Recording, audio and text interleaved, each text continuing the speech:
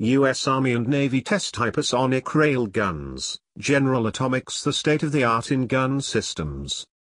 General Atomics Electromagnetic Systems announced that it has completed a major test series in collaboration with the Army and Navy to advance the state-of-the-art in gun-launched defensive projectile interceptor designs.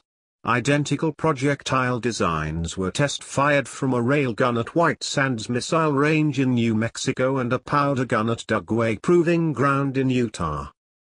The projectiles reached record hypersonic velocities from the railgun launch and tested the projectile's guided flight capabilities from both gun systems.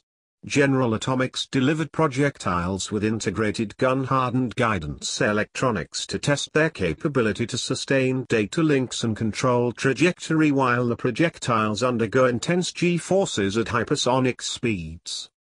General Atomics fabricated and delivered completed projectile assemblies which contain guidance electronics and control actuation systems. General Atomics worked closely with the U.S. Army Combat Capabilities Development Command Armaments Center and the Naval Surface Warfare Center, Dahlgren Division to perform several test firings.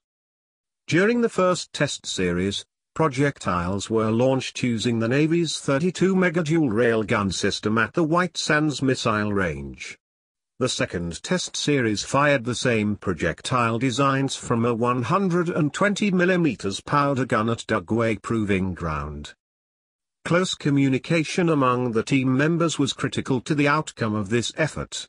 We tested significant advancements in our projectile design, demonstrating survivability and good aerodynamic performance at these velocities while testing guidance capabilities that promise greater precision and accuracy to effectively meet and defeat airborne threats.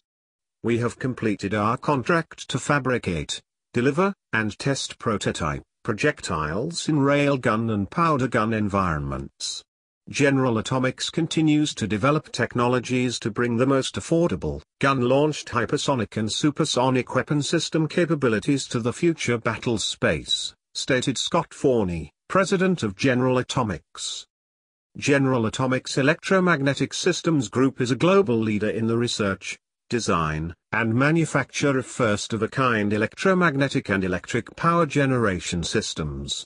General Atomics' history of research, development, and technology innovation has led to an expanding portfolio of specialized products and integrated system solutions supporting aviation, space systems and satellites, missile defense, power and energy, and processing and monitoring applications for critical defense, industrial, and commercial customers worldwide. Thank you for watching. Please like, share, comment, and subscribe.